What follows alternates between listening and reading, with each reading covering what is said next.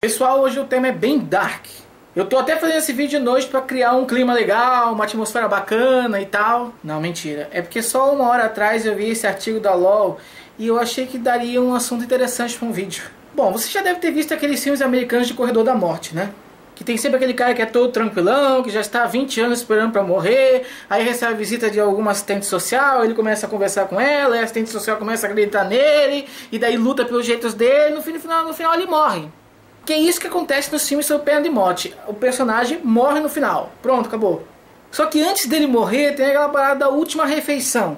Que é mais ou menos assim: no dia da execução, o cara ganha o melhor jantar da vida dele. Ele pode pedir praticamente o que ele quiser nessa última refeição. Claro, lagosta não sei se eles vão ter, mas. Esse ritual antes da execução, na realidade, começou com uma conotação religiosa. Mas isso acabou se mantendo até o dia de hoje por mera tradição. Coisa de americano, sabe? Mas enfim, já há alguns anos as pessoas vêm percebendo que alguns presos simplesmente negam a última refeição. Ou pedem coisas bem pouco calóricas. Meio que a pessoa deixa para fazer dieta no último dia, sabe? Esse artigo publicado este mês na Laws foi o primeiro que talvez tenha encontrado alguma explicação para esse fenômeno. Ou seja, por que alguns presos querem essa última refeição e por que outros simplesmente negam recebê-la. Eles identificaram que aquelas pessoas que não aceitam a condenação, que continuam mesmo no último dia se julgando inocentes, têm uma tendência muito maior a negar esta última refeição. Quando pedem, pedem uma coisa bem pouco calórica. Já aqueles presos que aceitam a condenação, consideram-se culpados, sentem-se um pouco mais confortáveis nesse dia e acabam aceitando essa última refeição, refeição e caprichando no pedido. É como se no primeiro caso a pessoa se auto-enganasse, pensando que é inocente e que por isso seria recompensado numa outra vida com um jantar muito melhor do que aquele. Então ele pode recusar aquilo ali, porque em breve ele estará jantando com os anjos. Já o cara que está ciente da própria culpa, sabe que é um criminoso, sabe que vai para o inferno, sofrer todas as torturas do mundo, então ele quer mais é aproveitar tudo que esse mundo tem, ainda que no último dia, e se esbaldar ali naquele último jantar.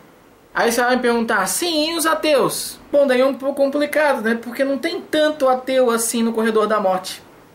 Mas enfim, essas são algumas das hipóteses que o artigo elenca para explicar por que, que essa relação existe. Mas eu não sei. Eu, eu, eu não sei.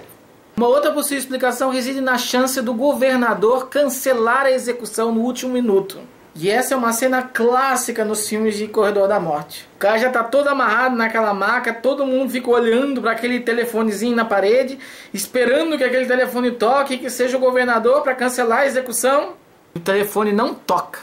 O que nos leva a crer que uma das possíveis explicações também é que essa recusa de aceitar a última refeição seja uma forma de sensibilizar, de causar uma comoção popular e talvez transformar essa comoção popular numa pressão contra o governador, fazendo com que ele cancele a execução na última hora. Você já pode imaginar quantas vezes deu certo, né? Mas enfim, especulações à parte, o fato é que parece existir sim uma relação entre o quanto o preso ou condenado se considera culpado e o comportamento dele diante da última refeição. Quanto mais ele está consciente da culpa, mais ele aceita essa última refeição. Quanto menos ele está consciente da culpa, menos ele aceita essa refeição. Sinistro esse assunto, né? Bom pessoal, por hoje é só. Peço que não deixem de avaliar o vídeo, comentar o que acharam, se inscrever no canal, se inscrever na página do canal no Facebook e dar aquela força para divulgação desse vídeo nas redes sociais. Muito obrigado e até o próximo vídeo aqui no TVC Channel News. Valeu! Calma, não vai embora ainda, eu só peço mais um minuto da sua atenção para falar sobre o cogumelo de Marte. Só que não. A questão, pessoal, é que fazer vídeos para o YouTube não é uma tarefa fácil. Principalmente quando se trata de divulgação científica.